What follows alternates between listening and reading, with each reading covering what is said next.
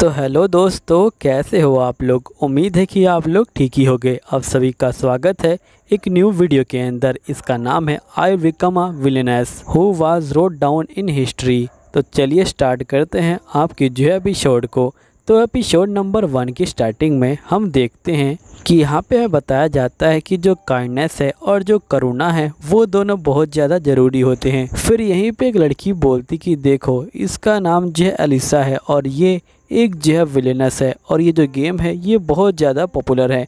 अगर मैं कभी रिकानेट होती हूँ तो मैं इसी करेक्टर में रीबोन लेना चाहूँगी। जिसके बाद हम उस लड़की को देखते हैं, जो कह रही होती कि लगता है कि मैं यहाँ पे रीबोन हो गई हूँ और मैं यहाँ पे अपने जो करेक्टर है, उसी में रीबोन हुई हूँ। मेरा नाम एलिसिया है और मैं सात साल की हूँ। और इसमें जो है कोई शंका नहीं है कि मैं गेम वर्ल्ड में जो आ चुकी हूँ। ये सारा जो रूट है, ये जो बिल्कुल गेम वर्ल्ड की तरह ही लग रहा है। यानी कि मैं रिकानेट हो गई हूँ एक जो विलनेस के रूप में। अब मेरे आगे कोई भी जो अपोनेंट है, वो जो टिक नहीं पाएगा। मैं एक बहुत ज़्यादा स्ट्रॉन्ग जो विलनेस है, वो जय बन के दिखाऊँगी, जिसका नाम हिस्ट्री में जय लिखा जाएगा। फिर एलिशिया बाहर आ जाती है और ये बोलती कि मैं अपना जो टाइम है, उसे जय वेस्ट नहीं कर सकती हूँ, इसलिए मुझे सबसे पहले जो ट्रेनिंग है, वो जो करने जाना होगा। फिर एलिसिया अपने भाई के पास जाती है, जिसका नाम एल्बर्ट होता है। और फिर एलिशिया एल्बर्ट को बोलती कि आप प्लीज़ मुझे तलवार चलाना सिखा दीजिए, मुझे जो स्ट्रॉन्ग बनना है। जिस पे एल्बर्ट बोलता है, ठीक है, मैं तुम्हें जो सिखा दूँगा, लेकिन तुम्हें पहले अपने जो फ़िज़िकल बॉडी है, उसे जो मज़बूत करना होगा, जिसके लिए तुम्हें पहले जाके जो हंड्रेड सीटअप्स है वो मारने होंगे और पचास जो पुशअप है वो मारने होंगे। वो भी जय हर दिन। अगर तुम ऐसा कर पाती हो पूरे एक हफ़्ते तक तो मैं तुम्हें सिखा दूँगा। जिस पे एलिशिया कहती है, ठीक है, मैं करके आती हूँ ये। फिर अलीशिया बोलती है कि, मैं यहाँ पे अपनी जो स्ट्रेंथ की ट्रेनिंग है, वो जो शाम को करूँगी, लेकिन इस समय मैं स्टडी करूँगी मैजिक के बारे में। इस दुनिया में जो मैजिक है, वो जो एग्जिट करता है। यहाँ पे पूरे सात तरह के जो मैजिक है, वो होते हैं। Dark magic light magic, fire magic wind magic and water magic. लेकिन एलिसिया को यहाँ पे कोई भी मैजिक की किताब दिखाई नहीं देती। एलिसिया बोलते, ठीक है, मैं यहाँ पे स्टार्टिंग के लिए जो प्लांट है, उन्हीं की जानकारी ले लेती हूँ। फिर जो एलिसिया होती है, वो जो पढ़ना स्टार्ट करती है और हम देखते कि यहाँ पे शाम हो जाती है। एलिसिया कहते कि मैंने बहुत सारी जो किताबें हैं, उनको जो है पढ़ दिया, लेकिन अगर मैं पुराने वर्ल्ड में होती तो मैं इतनी किताबें नहीं पढ़ पाती कभी फिर नेक्स्ट में हम देखते कि एलिसिया पुशअप मार रही होती है, और इसने पहले दिन में ही पचास पुशअप मार दिए होते हैं। एलिसिया बोलते कि शायद से अब जो मैं थोड़ी बहुत स्ट्रॉन्ग हो गई हूँ। फिर हम नेक्स्ट डे देखते कि जो एलिसिया होती है, वो फिर से पढ़ाई करती है, और जिसके बाद वो फिर से जो पुशअप है, वो मारती है। अब ये 300 पुशअप तक जो है पहुँच चुकी है, और इसी तरह लगातार पुशअप मार रही होती है। फिर हम नेक्स्ट डे देखते हैं कि इसके डैड कहते हैं कि वैसे आजकल तुम जल्दी उठ जा रही हो, आखिरकार क्या हुआ है तुम्हें? एलिसिया बोलती कुछ भी नहीं। तभी इसके भाई बोलते कि तुम पूरे दिन रहती कहाँ पे हो? पहले तो तुम अपने रूम से बाहर भी नहीं आती थी, लेकिन आजकल तो तुम जल्दी उठने लगी हो। एलिसिया बोलती कि बस वैसे ही। तभी यहाँ पे एलिसिया के जो मॉम डैड होते हैं, वो एल्बर्ट को बोलते कि, मैं सुना है कि तुम बाहर जा रहे हो। एल्बर्ट बोलते हैं हाँ आप लोगों ने बिल्कुल ठीक सुना है। मैं एकेडमी में जा रहा हूँ स्टडी करने के लिए। फिर नेक्स्ट सीन में हम देखते हैं कि जो एलिसिया होती है, वो जो थी एल्बर्ट के पास जा रही होती है। यहीं पे एल्बर्ट के बहुत सारे जो दोस्त होते हैं, वो आए होते हैं। अलिशिया बोलते कि, मैं इन सभी को जानती हूँ। यहाँ पे एक लड़का है, जिसका नाम एरिस है और ये जो फायर मैजिक का इस्तेमाल कर सकता है। और एक लड़के का नाम फ्लैंकिन है और ये लाइट मैजिक का इस्तेमाल कर सकता है और दूसरे लड़के का नाम शेखा है और ये जो वाटर मैजिक का इस्तेमाल कर सकता है और ये आने वाला टाइम में एक हीरो बनेगा। और वैसे तो ये एक ड्यूक का बेटा भी है। फिर यहाँ पे हम देखते हैं कि एलिशिया पहुँच जाती है। एलिशिया को देख के सभी जो बंदे होते हैं वो काफ़ी खुश हो जाते हैं और ये बोलते कि तुम्हारी छोटी बहन तो बड़ी प्यारी है।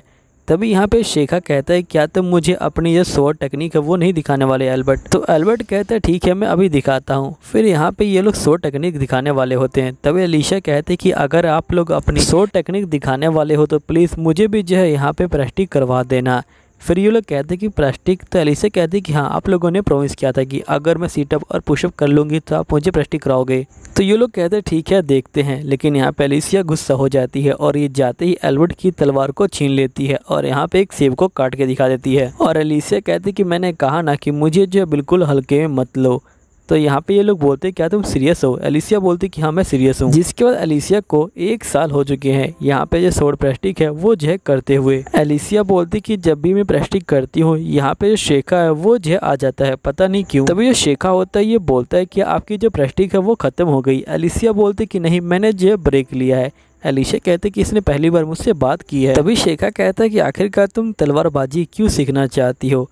तो एलिसिया विलेनस बोलने वाली हो, लेकिन वो टॉपिक चेंज कर देती है और ये बोलती कि मैं सबसे स्ट्रॉन्गेस्ट जो विलेनस हीरो है वो बनना चाहती हूँ। तभी एलिसिया का एक भाई यहाँ पे आ जाता है और ये यहाँ पे शेखा को जो किताब देता है और ये बोलते कि मैं सोचा कि आप यहाँ पे किताब लेने के लिए आते हो, लेकिन लगता है कि शेखा बोलते कि तुम बिल्कुल सही सोच रहे हो। खास वो भी जैसा सोच पाए। फिर नेक्स्ट में हम राजमहल के सीन को देखते हैं, जहाँ पे ये कहते कि चलो अब जो लैंगडंग विलेज है उसकी बात करते हैं, वो लगातार नीचे जो है गिरता चला जा रहा है और वहाँ पे खाने की कमी भी हो रही है। तभी एक राजा बोलते कि देखिए, हम एकदम से यहाँ पे उनको सप्लाई नहीं भेज सकते क्योंकि जो जनता है, वो जो है नाराज़ हो जाएगी। आखिरकार वो लोग सारे क्रिमिनल ही है ना। फिर ये लोग कहते कि वैसे हमें यहाँ पे जो गोल्डन रोज है, उसके ऊपर जो बातचीत है, वो करनी चाहिए।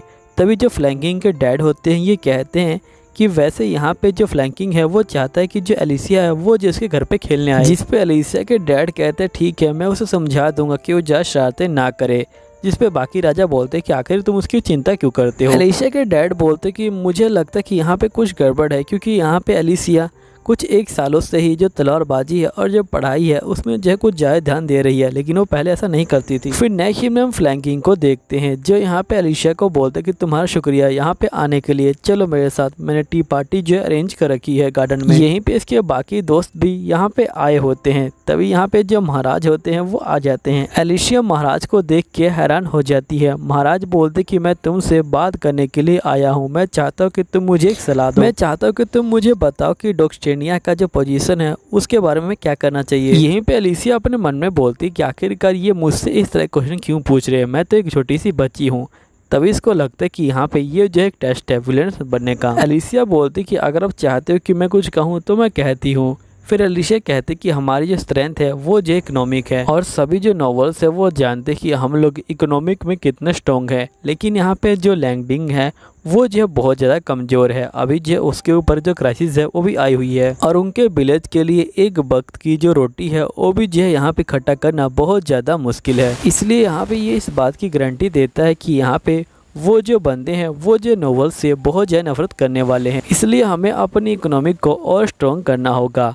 तभी महाराज बोलते कि मैं समझ गया, लेकिन क्या तुम तो मुझे बताओगे कि आखिरकार हम अपनी इकोनॉमिक को स्ट्रॉन्ग कैसे कर सकते हैं? एलिसिया बोलते कि हम लोग कैम्बरिया का जो सोने का ख़ानदान है, उसका जो है फ़ायदा उठा सकते हैं। जिस पर महाराज बोलते कि तुम चाहते हो कि हम लोग, जो कैमेसिया है, उससे जो सोने का खदान है, वो जो है छीन लें। जिस पे अलीशा कहती कि, नहीं, मैं बिल्कुल ऐसा नहीं चाहती। मैं नहीं चाहती कि आप लोग उसे जो परेशान करें। मैं चाहती हूँ कि कैमेशिया और हमारे जो कनेक्शन है, वो जो है काफ़ी अच्छे हो जाए, जिसके लिए आप लोग जो ट्रेडिंग है, उसका जो सहारा ले सकते हो। और इस तरह वो आपकी और हो जाएगा और साथ ही आप उसे यहाँ पे जो आर्मी है, वो भी जय दे सकते हो अपनी। यहीं पे महाराज कहते कि, तुम्हारे साथ बात करके मुझे काफ़ी अच्छा लगा। फिर नेक्स्ट में महाराज जा रहे होते हैं। तभी यहाँ पे साइड वाला बंदा बोलते हैं कि, वैसे आपकी डिस्कशन काफ़ी अच्छी थी, लेकिन यहाँ पे हमें जो गोल्डन रोज है, उसके बारे में जो फाइंड आउट करना है। महाराज कहते हैं, ठीक है। फिर नेक्स्ट सीन में हम एलिसिया को देखते हैं, जो यहाँ पे स्वीट खा रही होती है और इसे काफ़ी अच्छा लगता है। फिर नेक्स्ट सीन में घर जा रही होती है, तभी यहाँ पे शेखा आ जाता है और ये बोलते क्या तुम्हारे पास थोड़ा टाइम है? और शेखा जो होता है एलिसिया को बर्थडे गिफ्ट देता है और ये बोलते कि हैप्पी बर्थडे एलिसिया बोलती कि आपका शुक्रिया। फिर एलिसिया कहती, क्या मैं इस डिब्बे को खोल सकती हूँ? शेखा बोलता है कि हाँ बिल्कुल। फिर जो एलिशिया होती है, वो जो होती है इसे खोल देती है और उसके अंदर एक जो होता है नेकलेस होता है। एलिशिया बोलती कि, आपका शुक्रिया। है शेखा बोलते है कोई बात नहीं। फिर शेखा जो है चला जाता है। तभी जो एलिशिया होती है बोलती कि, आखिरकार उसने मुझे ये नेकलेस दिया क्यों?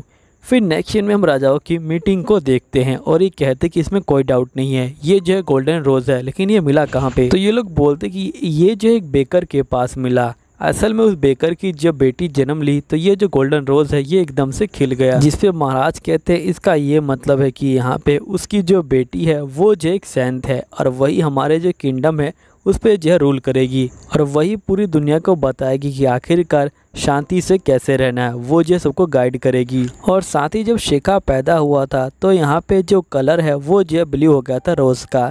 इसका मतलब ये दोनों मिल के यहाँ पे हमारे जो किंगडम है, उसको जो है आगे बढ़ाएँगे। लेकिन मेन प्रॉब्लम ये है कि ये सब करने के लिए हमें यहाँ पे एक बहुत बड़ी जो कीमत है, उसे जो है चुकाना होगा। यहीं पे अलिशिया जो एक्साइज कर रही होती है और ये बोलते हैं कि आखिरकार आप लोग कहाँ पे जा रहे हैं? अभी तो मेरा जो विलनेस बनना है, वो जो है बाकी है और अभी मैं वो स्ट्रॉन्ग बनूँगी। इसलिए आप लोग इस एनिमेशन को देखते रहिएगा और साथ में चैनल कर लीजिएगा। तो दोस्तों, मिलता हूँ अगले वीडियो में। जी अब तक के लिए बाय बाय